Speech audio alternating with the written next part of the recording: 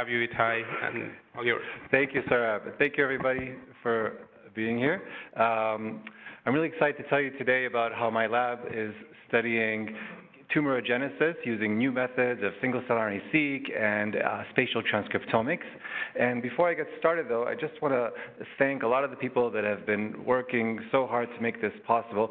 In particular, Kelly Scott has been working for months uh, to prepare all the the uh, behind the scenes work of the catering and the rooms and the things you never uh, think of but really have to happen to make such a large conference like this possible. And uh, Kim and Eva have also been helping her in our institute, um, and I'm very grateful for that. So, also before I get started, I want to give a plug to evolution. You would think evolution doesn't need a, a plug, but um, I, uh, I insist it does. So let me tell you about this book. When I was 22, I finished my degree in computer engineering, and I, um, I picked up this book. I, actually, I picked it up for the second time. The first time I picked it up, I, I had a misunderstanding. I thought it was about people found a gene for being selfish. That's what this book is about. And so I, I didn't bother reading it. But when I read it the second time, uh, when I really read it, uh, picked up the second time and read it, it blew my mind. I, I, when I closed it, I was already a biologist and uh, never went back to engineering. And I think I should make a, a, new rule for, for members joining my lab that they have to read this book because it's just so crucial. The, the main thing about it is that Richard Dawkins taught us, and it really wasn't his own innovation. Um, his innovative aspect was more just to describe it so clearly, what was um, what was sort of common knowledge in the field of evolution, which is that um, most biologists have biology upside down. And um, it's a radical thing to say, but I think it's true that when you take the organism, you look at it, and you can't think that the genes are there to serve the organism. That's just the inverse of what's happening. The organism, or as Richard Dawkins calls it, the survival machine, is built by the gene. It's their mechanism to get to the next generation. And the reason why this is a crucial distinction is because if you understand that, you reinterpret everything that's going on in the cell as a strategy by the gene. The genes are cooperating, the genes are competing, and it's all in this fight for survival where the organism may be fleeting. The organism may be 43 years old, but the genes may be billions of years old, and they, they survive, they flow on. Uh, Richard Dawkins said at one point that he, re- he half regretted calling it the selfish gene. He should have called it the immortal gene, because that's really what the book is about. The gene is immortal. And um, you might say, um, why is this important uh, if you're going to talk about cancer, and that's what this talk is going to be about tumorigenesis, I think it is uh, relevant. If you think about it, cancer is not something that uh, uh, happened in the past or may have happened in the past if you talk to some creationists. It's, uh, it's something that's happening all the time. Right now, uh, in people's bodies, there are cancer growth that's natural selection in action. The, every time you take antibiotics, you're performing natural selection on the microorganisms in your gut. In, uh, in, the, in the testes, there is natural selection where some spermatogonia are being uh, selected for because they're faster developers. Natural selection is happening all the time. You don't need to speculate about the past. So um, also before I get started, I want to mention the people in my lab. These are my lab members, and uh, I won't talk about all of their work. I, I just want to focus uh, on uh, Maayan's work and, is this on? No. Well, on Maayan's work and on Ruben's work, and um, unfortunately I won't have time to talk about the other exciting projects. So I'll talk about aspects of development, about atlas building, and about cancer uh, cell states that we call archetypes. And um, this all has single cell and spatial uh, aspects kind of interwoven within it. So let me first tell you how um, my lab became involved in single cell transcriptomics. I feel we're, we're kind of like part of the narrative of, of uh, single cell RNA-seq, which has been so exciting uh, to watch unfold over the, the past few years and to be a part of. And for us, it was a very humble beginning. We were a lab that, that studied developmental gene networks in the very humble nematode, C. elegans. And the reason why we chose this, this um, organism, which might seem obscure, is because it's, it's a beautiful, it's a beautiful model. It's a beautiful, simple organism, whereas um, you have trillions and trillions of cells. It only has a thousand and eight cells. When it's born, you know, and it hatches, there's only 558 cells, and the number is so few that John Sulston actually drew the entire lineage after years of observation, and for this work he shared the 2002 Nobel Prize because he discovered that one-sixth of the cells also commit uh, suicide, undergo apoptosis. And that mechanism was worked out in C. elegans. And in my lab, in order to understand gene networks, we really needed to focus on specific cells of the embryo. So for example, you see this, this cartoon of an embryo right there. That's the 15-cell stage embryo. We always you know, you know, we wanted to know, for example, at this stage and stages afterward, which genes are on there. Like if we, if we could just figure out which genes are coming on at this stage, and then at the next stage, what are the, what's the new wave of genes, we, we wouldn't have to even build models that are too complicated. We would just have the network sort of fall out. That was the, the dream, that you could just observe it and also observe how the cell fate decisions are occurring. The problem is we didn't have the technology to zero in on an individual cell and systematically inquire every gene. You could use uh, FISH to look at individual genes, but not everything at the same time. And um, we tried uh, the Tang et al. method. That was the first single-cell RNA-seq method from the Surani lab. It didn't work in our hands. We paid a lot of money for enzymes. It didn't work. We were really frustrated. Um, we, we saw a talk by Sten Linnarsson, who introduced uh, the START method, and he had this great idea. We were kicking ourselves for not having thought of it ourselves, which is just to introduce a sample-specific barcode. And therefore, you wouldn't have to sequence just one cell per lane, because in the Tang et method, you know, uh, in Illumina lane, it would just be one cell. So it would be really expensive, and it didn't work in our hands. Um, two big problems. So we um, we, we wanted to use START, but it was unavailable. The protocol hadn't been published yet. And we thought in our lab, wait a minute, we just have everything we need to do it ourselves. Because we were doing microarrays, DNA microarrays, and for that we had a really sensitive, beautiful amplification protocol uh, called the Eberwine protocol, which is in vitro amplification. You basically take the RNA, make it into cDNA, right? Once it's in DNA, you can amplify it up and then sequence. And so we decided we could just take the notion uh, uh, of Sten Linnarsson of adding a barcode and use our um, CT7 promoter there implements the in vitro amplification. And that was the birth of CEL-Seq, and it became super um, efficient, simple, reproducible, accurate. Uh, in, in 2016, we updated it with CEL-Seq 2, where we optimized everything and changed uh, a few things and we arrived at 21% sensitivity. 21% sensitivity means that if a cell has about a half a million transcripts, you're detecting over 100,000 transcripts. And, you know, that was great. Um, I think many methods uh, these days are, uh, have kind of compromised that sort of sensitivity in part to get more uh, uh cells. So actually, this sensitivity is pretty unmatched. And using this uh, CEL-Seq, we were able to, to query the C. elegans embryo. This, what you're seeing is a map, the, the traditional t-SNE plot, where every dot is a cell that comes from the C. elegans embryo, and it's a bunch of embryos for, from different stages, uh, kind of like all shown in the same map, so it's, it's not so informative. But we could do even better because the way we did it is in a really sensitive way. We, we really treated each cell as like a gourmet cell. We, we took each, each embryo, and from each embryo, like for example this embryo up top, we opened, up, opened it up, individually froze each cell, right, and did the CEL-Seq2 protocol. So at the end, we can now know that, ah, if we match a certain identity to one cell, it cannot be the same identity that's delineated to another sample because they come from the same embryo. So you have additional information by this, this uh, contingency of collecting the, all the cells from a particular embryo and, and knowing it.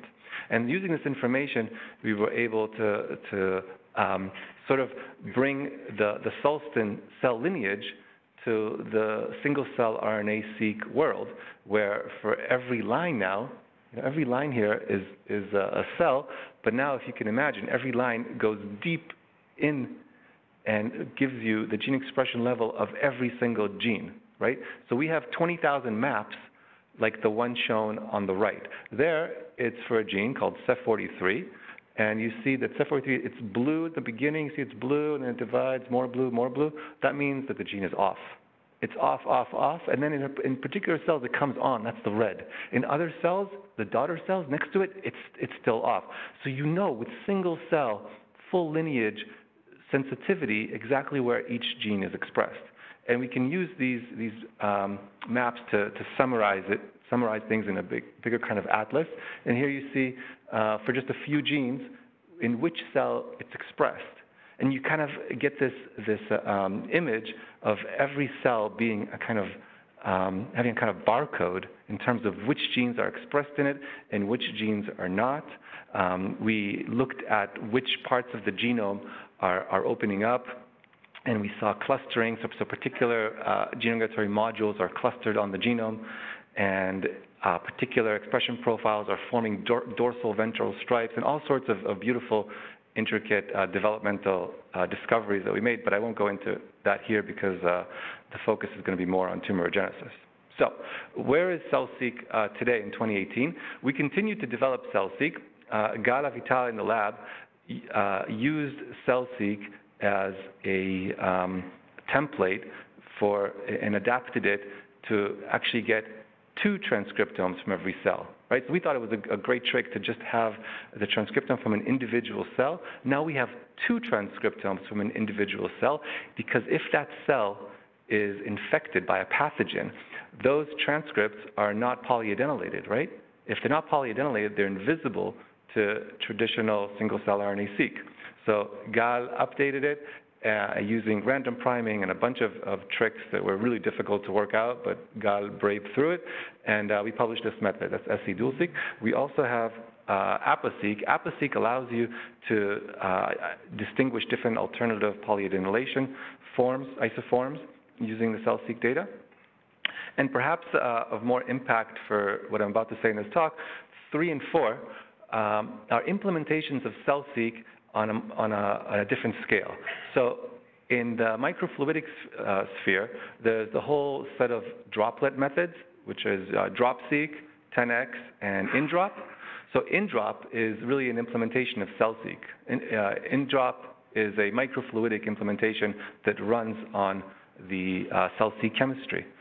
And um, let me show you. So in, in uh, our lab a couple years ago, we published the um, uh, uh, we took a complex tissue, the pancreas, and we applied InDrop to it, and we were able to identify the different cell types and the different uh, cell states, and that was really novel for us at, uh, at the time. Now it feels like it's so traditional. Uh, another implementation of CEL-Seq is spatial transcriptomics.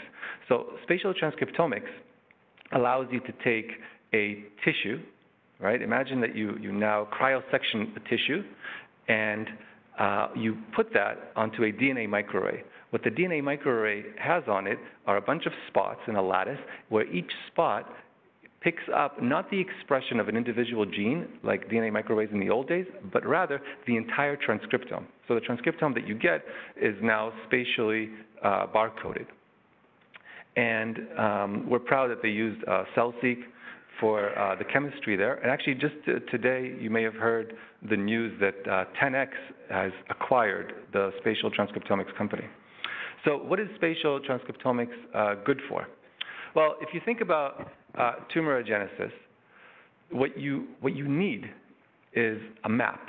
You feel that, that if you could just see what, what is going on in there, you could figure out what's going on. Right now, when you look at a, a section of a tumor, the most common form of doing that is with H&E staining. But with H&E staining, you can only tell so much, right? You, it's, it's hard to discern, uh, uh, you know, genotypes or cell states, and uh, you can only get kind of like a, a, a brute force, like, like a rough estimate of what's going on. So, what would you like? What would be, what ideally would you like to have from a uh, tumor atlas? I would posit that you'd need to get a parts list, first of all, just an itemized list of, okay, I've got the macrophages, I've got the cancer, fibroblasts, everything. Next up, you, you would um, know where are they. So here you would see, see in this top view, the, the, the T cells are, are over there in this region. And um, that, that's already pretty good. I, I would say that's already beyond what H&E staining could, could do today on a broad scale. But furthermore, you would want to know what are the cell states, right? For the the um, macrophages, are they pro-tumor or anti-tumor macrophages? For, the, for um, the macrophages, are they M1 or M2? And furthermore, you would want to know for the cancer cells, within, within that, th those regions, what is the clonality? We know that there's tremendous tumor heterogeneity in, in tumors. Uh, many times it's because there are, are different lineages that may be carrying out specific roles. We would want to see that in the map. So uh, Ruben Moncada in our lab is uh, busy uh, implementing this idea, and let me show you what, what Ruben is doing. Uh, the notion is that, um, first of all, we're in Langone Health, which is uh, an amazing uh, hospital and research environment. It's really integrated, and that allows us to collaborate with clinicians and to literally stand outside the operating room and acquire uh, a tumor that was just minutes ago in a patient. It, once it clears pathology, we can we uh, can use it for research. And what Ruben does is then he immediately splits it into two. One half is going to be used for spatial transcriptomics, and the other half for single-cell RNA-seq. Okay, so the single-cell RNA-seq. Uh, Ruben is able to do the kind of stamp collecting of identifying which which cell types are present. And this is very similar to the, the pancreas data that I showed you um, before. Yay, I can make it work. Uh, stamp collecting, make it work. But, uh, but there's also the, uh, a new cell type that we didn't see in the pancreas data set, and that's the, the cancer uh, cells. Okay, very good. Um, I think, you know, many of us that are working with single cell data uh, can appreciate the kind of um, uh, kind of um, nervous feeling that, that we get now when we have t which is kind of like that, now what? Like, what, what do you do with it now, right? Now that I have the t what does it tell me? What information can it tell me? And that's what we're really looking to, for, to, to spatial transcriptomics to inform the, the, the cell types and the cell states that we see. So here's the spatial transcriptomics. What you see here is the H&E staining uh, from a PDAC. Uh, this is uh, pancreas uh, ductal adenocarcinoma. And you see that the pathologist has annotated different regions, like this is the cancer region, and you have the ductal epithelium, and so forth, okay? And then the, the, what's the raw data? The raw data of spatial transcriptomics is for every gene, where is it located? And you might say, oh, wait, spatial transcriptomics can replace single-cell RNA-seq altogether. Well, it can't because ST, at least for now, better days ahead because of 10x, probably, but uh, for now, it's not single cell resolution. So you see this resolution here. Each spot is really giving, is really an average of like 20 to 50 cells. So uh, this is the data. You see, like for this gene, it's expressed here. This gene is expressed there. That's the raw data. What can you do with it? One first thing you could do is to do principal components analysis. Okay, because every uh, in the same way that you do principal components analysis on single cells, you could do principal components analysis on these spots, right? Because each, each ST spot is an entire transcriptome. You can see what is the, what is the PC, get the, get the PC score for every spot and map that back on to the location. And you see, for example, PC2, um, the, the, the, the score for these transcriptomes is high for PC2. So that means it's, it kind of registered a sort of regionalization in, um, in ST, in the, in the spatial uh, slide. Uh, furthermore, we can cluster it using this, this sort of idea. This was clustered with k-means, not PCA, but it's the same idea. And uh, I just want to uh, highlight for you that we formed four clusters. One is the cancer, right? One is the ducts, one is the normal tissue here, and then perhaps the most interesting is this black one, which is the, the tumor adjacent, the cancer adjacent, right? And you might think that, that the, the cells that are just in between the normal and the cancer are expressing something else. Okay, so hold that in your mind for one second, and then let's go to the ST side. So on the spati- uh, sorry, on the uh, single cell RNA-seq side. So here, let's take just one cell type, the macrophages. You can see that if you look deeper into the macrophages, you can identify different subpopulations, right? And this has been known for, for many years. You didn't need single-cell RNA-seq, but it's nice that the single-cell RNA-seq data recapitulates the, the uh, existence of different states. Okay, so we have uh, three states that we, that we describe here, and we have genes that are specific to, to each state. And now we can ask if for each population, um, where, where are they? And what we found is that one population is a little bit higher in the cancer adjacent region, while uh, the, the, another, the second population is actually higher in the cancer relative to the cancer adjacent. So this is still work that's ongoing, but what we're, we're beginning, what we're beginning to unravel is not just the, the stamp collecting of the different cell types and their cell states, but also their, their spatial arrangements. And now let me show you a, a second approach that, that, uh, that we've developed to, to integrate single cell and ST, which I'm very excited about. This is to first identify modules of genes that are co-expressed across space.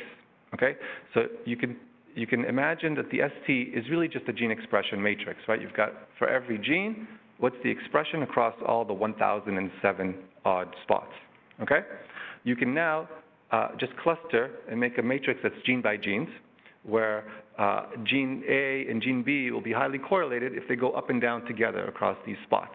Okay, and so you see that there's uh, one cluster here, right? The, all these genes. Uh, there's more. Uh, Ruben is just showing every tenth gene here. So there's many more genes here, and you can look at where they are. So this uh, one particular module, spatial module five, we saw that th those genes in the module are tend to be in the cancer region, which is really interesting, right? So you, you identify genes that are co-expressed, and now you can map them to the region, in this particular region you're interested in. You look at which genes these are, because you can remember now that for every gene, you also have the single cell RNA-seq data, which tells you in which specific uh, cell type it's expressed in.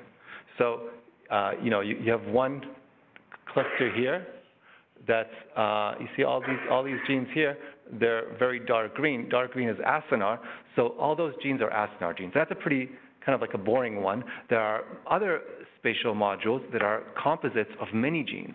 And that kind of gives you insight into the, the microenvironment. Uh, for example, what you could do is this. You can ask for a particular spatial module, what's the enrichment of different uh, cell type genes? And let me tell you what this works. You can take, um, this is really an integration of the ST and the single cell RNA-seq. From the ST, you take a set of genes, like for example, spatial module 5, for example, okay? It's a list of genes you now have another list of genes. These are the genes that are expressed in just acinar cells, or the list of genes that are just expressed in the cancer cells. Okay? You ask, using the hypergeometric distribution, is there overlap higher than you'd expect by chance? And that's what you see uh, here on the diagonal. So, for example, uh, epithelial, epithelial, see, uh, it's, it's sort of enriched. So spatial module 5, it's, it's a pretty decent uh, minus log 10 p-value. But if you now take a combination, if you take the epithelial and the cancer genes together, make like a superset, the union of the cancer genes and the epithelial genes, you see that you get a super enrichment, right? This is a crazy enrichment, like, like uh, 30 zeros after the, the, uh, the decimal. So really, what this is telling you is that you, you identify spatial module, and you learn from the single cell RNA-seq data which cell types are enriched, which cell types are spatially located. And uh, we can do this on many modules, right? Many, for every spatial module, we can now kind of um, uh, untangle which cell types are present. And we could also go and do this by cell states. For every cell type, we delineate the different cell states and see uh, how, uh, which ones are spatially located. So just to wrap up this section, I think this is what we would want from a, a cancer atlas. We would want to have all this information, and in, in doing so, we will see which subpopulations are, are, in, are close and interacting. Okay, the second story I want to tell you is about a parallel project in the lab that was interested um, more in time, the temporal component of, of uh, tumorigenesis. And this is a project that's led by uh, PhD student Maayan, in the lab. Maayan is uh, uh, not here today because she's in Boston interviewing for postdocs. So uh, too late for UPIs trying to recruit her. Um, and she, this is a big collaboration with Rich White, the wonderful Rich White from uh, MSK, who's a good friend. And uh, the reason why we started this collaboration is because we felt that, that the fish is such a, a beautiful um, model system for cancer. In the same way that C. elegans was for development, the, the fish um, allows us to, to study a tumor over time with and without treatment. And the, the way it works is you take a zebrafish embryo, you inject an oncogene that is driven by a cell type specific promoter, right? And now, let's say the cell type specific promoter is a melanocyte promoter. Now, when the fish grows up, only in melanocytes will, will this oncogene come on, and the fish will get cancer, melanoma. So we were able to now sample this melanoma, process it using a single cell, using single cell RNA-seq, and we get the t-SNE. And the t-SNE identifies many uh, cell types. We've got keratinocytes, fibroblasts, and all those light blue dots, that's all the cancer cells. So we wondered what would happen if you just study now the, the cancer cells in isolation, and we got this shape. And I think I think many now in the community are, are uh, receiving this, but when we saw this a year and a half ago, we were really shocked. Um, you know, we, we always thought, oh, these are just cancer cells. They're they're the, the, um, you know, they're maybe all doing, uh, um, they're, they're all going backwards in developmental time. They're all doing, they're all expressing the hallmarks. We expected a sort of uniformity out of them, and here we saw that they're, they're really, um, you know, almost diversifying into really distinct uh, uh, vertices on this triangle. So what, what is driving this? Like, why, why are some cells expressing uh, you know, why are some cells disposed here? What's, what's, what's really, is this, is this a bug? Is this an artifact? What's really driving this? So we don't think it's an artifact. We see that really there are G- cancer cells that are expressing very different genes. This, um, this gene, SOX2, is expressed in these cells, right, in sharp contrast to uh, the DCT gene, which is expressed in other cells. And yet, uh, uh, a third set of cells express Jun. And these genes are uh, functioning in a, kind of neural crest progenitor state. So, SOX2 is, is, uh, um, is, is expressed during melanocyte development, but much earlier on, before differentiation. DCT is a differentiation marker, and Jun is a stress marker. So the, these are really sort of uh, exemplifying different states. And you could say, well, this is just this is just a zebrafish thing. But we don't think it's a zebrafish thing because we reanalyzed RNA-seq data that was published from human melanoma, and we saw the same thing.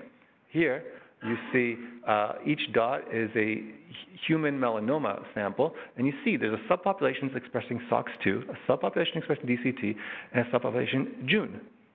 Crazy, right? So it's it's something that's kind of maybe universal to all melanoma, and we sought to further characterize uh, what these uh, what these transcriptional programs are, because it's probably not just just SOX2, DCT, and Jun.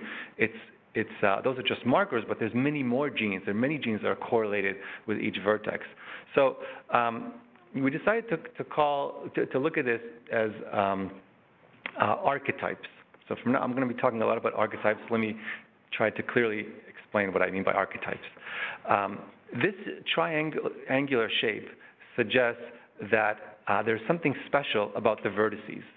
And what we imagine is that every cell is, is somewhere uh, is somewhere along the line of expressing the idealized program that is the, uh, the archetype. Okay, so an archetype is an idealized transcriptional program. No cell is expressing exactly it, but each cell is sort of approximating it. And so we wanted to study what, what, is, what is that transcriptional program that is being, uh, um, you know, kind of like, that's the average of all the cells around a particular vertex. And when, we, when you study those genes that are enriched for expression at each vertex, you see that in one corner, you have like a real neural crest uh, program. It's, it's really uh, the set of genes that are expressed earlier on in development uh, along, you know, along the path to the differentiation of the melanocytes.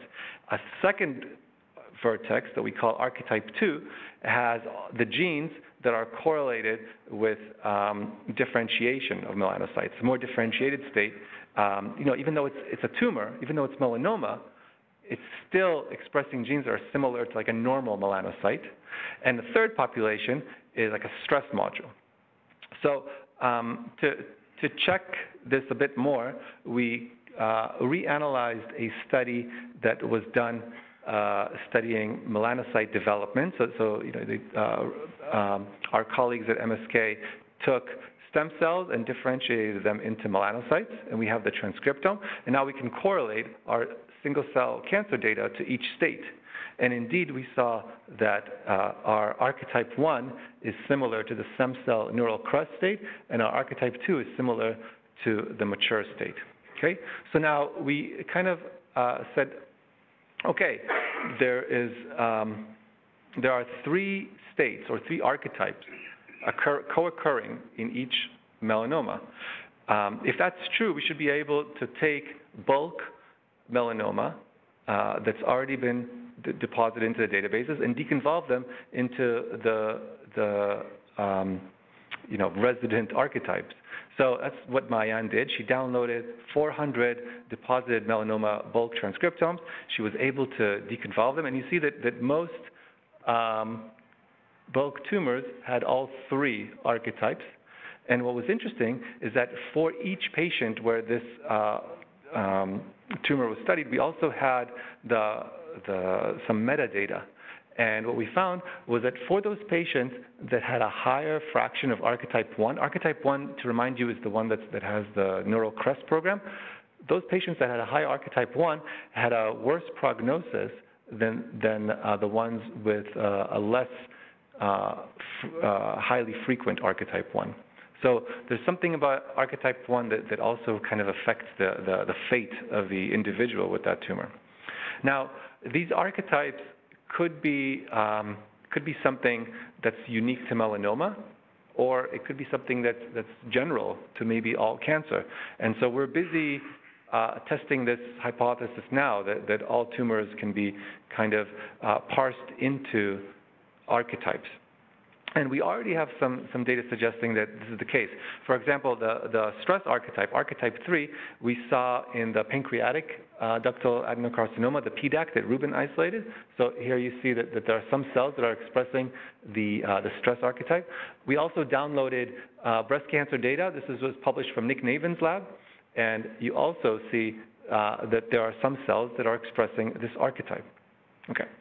Now, uh, I mentioned that, that this project got started because we were interested in the, the temporal aspect of tumorigenesis, and that's really a unique feature of the system where, you know, if you take a, a tumor from uh, a patient, you can study it.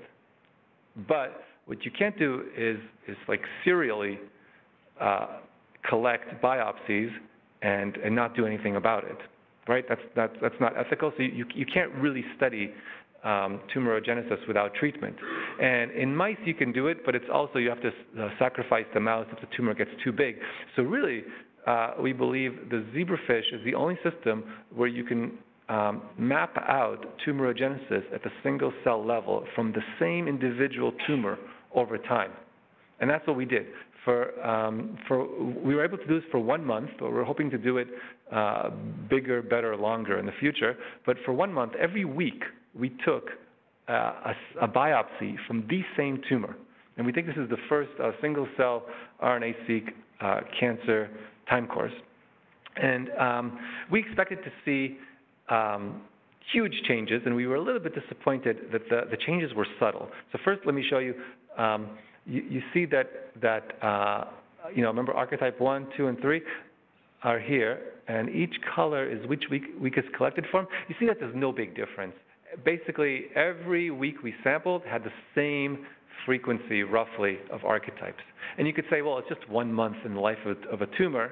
This, this should be uh, looked at a, a much larger time frame, and, and, I would agree with you. We would also want to look earlier on to see how the, the tumors uh, come about. So we didn't see any large-scale difference, but we did see uh, local differences. So within within archetype uh, one, for example, and we have this for the other archetypes, within archetype one, you could see how um, the changes, you know, you, you, could, you could ask, is it the same archetype one each time? And it's not. You could see that um, the oxidative phosphorylation genes, those genes, their expression is going down over time. And the glycolysis genes, those genes are going up in expression over time, which um, to me seems like a reflection of the Warburg effect, where a metabolic switch turns um, the production of clean energy into dirty energy, right? And it's just not just this one. You could see for a number of processes, uh, like like metabolism, a lot of those those genes are, are going up, and signaling pathways, their expression is going down in the cells expressing this archetype. So we do see local changes. Okay, so let me sum up this part. Um, what I've told you is that in zebrafish melanoma, we found three main uh, states that we call archetypes. These archetypes seem to, to coexist and not change drastically over time. Uh, their frequency is correlated, though, with clinical prognosis, so some change uh, does seem to be happening in, in, humans. And uh, the archetype concept could be general to all cancers, and, and that suggests that maybe we could make like a kind of periodic table of of cancer in terms of these archetypes, which I find really exciting. Also, I think it puts into frame uh, a lot of other concepts that, that uh, we think about when we think about uh, tumorigenesis, which is uh, tumor heterogeneity and the cancer stem cell. So, with, um, with tumor heterogeneity, one way to, to interpret this from our findings is that really each archetype becomes its own kind of clone.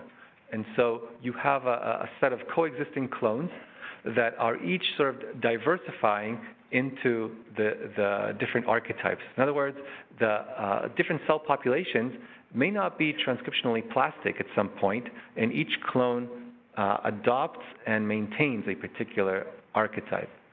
With regards to the, the cancer stem cell theory, it's really interesting because the, um, the cancer stem cell theory if, if you recall, suggests that, that there are, are, are a set of, of uh, cells that are kind of like in a stem cell state, and they're spewing off cancer cells that are, are kind of like more like the, you know, the, the worker uh, cancer cells.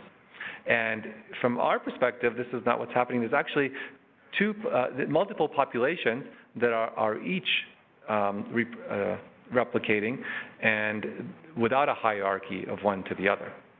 Okay, so now to, um, to, um, to wrap up, uh, I want to thank the people who did the work, which is uh, Maayan did this uh, zebrafish tumorigenesis, and Ruben, who did uh, the spatial transcriptomics. And to conclude, I, I want to tell you about uh, our lab. You know, every every week um, we have a group meeting, which is a lot of fun, and we we do special things. And I think um, uh, probably the labs that you're in also, um, it's interesting how the different cultures kind of evolve in, in different labs. And uh, I want to share with you one, one kind of aspect of the culture in our lab.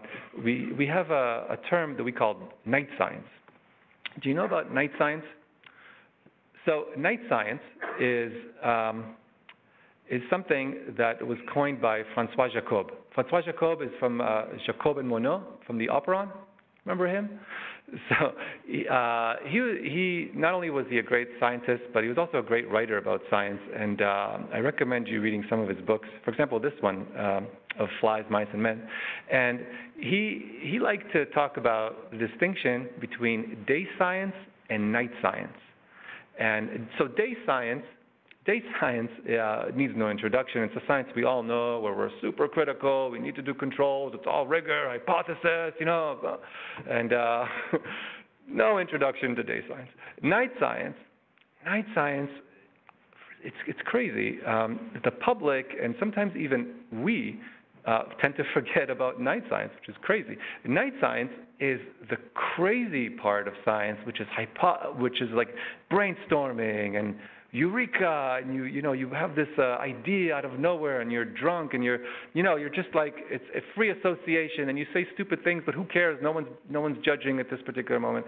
So that's that's more night science, and it's uh, it's interesting, right? That when we teach the scientific method to our kids, to ourselves, we, we talk about day science. We say, what is the scientific method? You have an idea, you know, you have, you, there's, there's, like a, there's a problem, you have an idea, that's the hypothesis, and then you test it, right?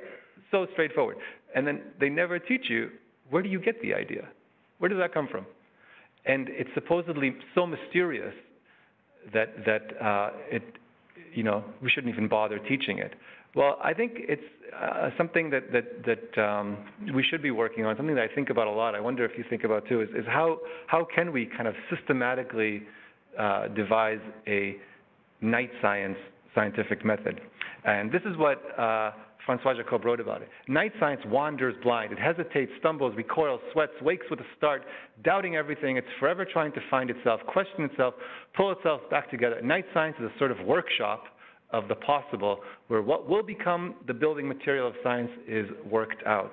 Night science is where it happens.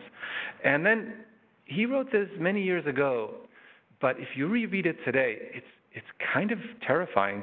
He writes, in today's vastly expanded scientific enterprise, obsessed with impact factors and competition, we will need much more night science to unveil the many mysteries that remain about the workings of organisms.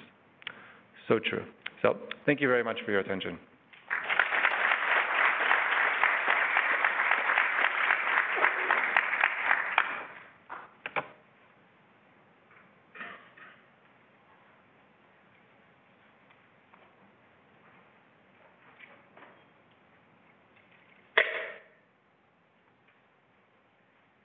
Fascinating talk, and I can't agree more on the night science aspect for sure. Um, I just wanted to mention that uh, we actually published a paper that came out beginning of this year. We did actually analyze the same data, the Church data. We used a combination of convex NMF and archetypal analysis. We also found three archetypes, and also we found, like we characterized that as well. So I'm very curious to actually take it offline and like talk about it. But in short, we found association with MITF, MITF low, MITF high, and MITF very high. I was wondering in your if your in your analysis you have seen any association between your archetypes and the level of MITF. Yeah, thank you for that. I'm going to look up your paper because I don't believe I've seen it.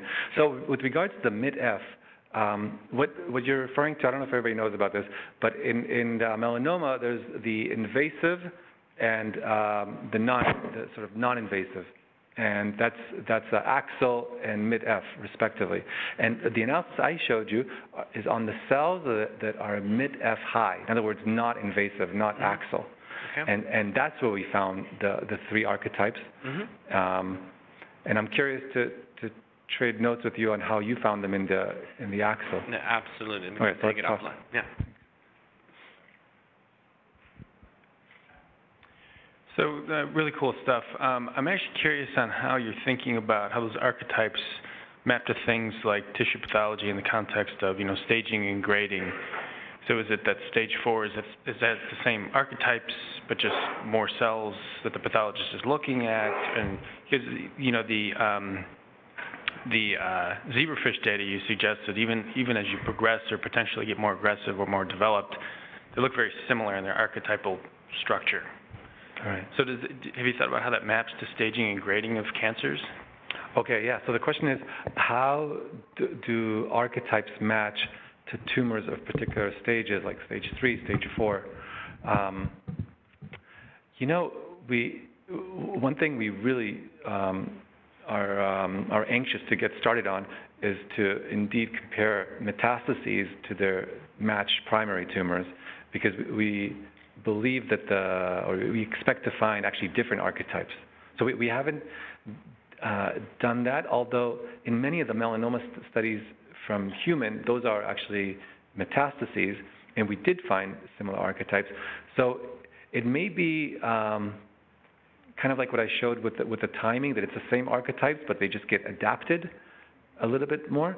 Um, in general, what, what we seem to, to see is that there are um, different, different possible states that a cell can have uh, across the developmental trajectory. It could be kind of like a neural crest, you know, like an early developmental stage or, or later developmental stage.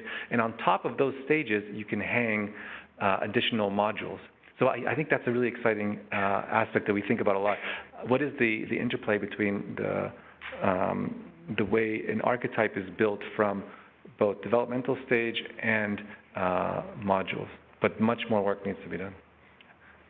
I have a quick question about the zebrafish experiment. So as you did the serial biopsies, you noticed that change in the metabolism, and some of that could be attributed to, say, like hypoxia, right? As the tumor gets bigger, Mm. the oxygen diffusion is limited. Mm. So how do you control for, I mean, so when you do the biopsy, is this going deep into the tumor? Could that explain some of the effects, or are these uh, changes that are happening on the periphery as well? Hmm. Okay, so so are the changes that we're seeing can they be attributed to hypoxia? Um, hmm. So um, we, we do we do kind of like stick the needle deep in, and we we try to get uh, cells that are not uh, just on the on the surface, and, and even if we did get the surface, it would be, it would be really few cells. But I think overall, um, you know, in, in this in this case, it's actually ST that could be really informative because ST coupled with the inDrop would be free of, of those sort of art, artifacts. Since everything is like frozen together, um, it should not have that. And I can tell you that one aspect that we also saw uh, about that, that zebrafish tumor is that the stress module was on the outskirts, like that was like uh, on the outer ring. So maybe there is uh, an hypoxic signal, and that's what the stress module is a response to. Maybe.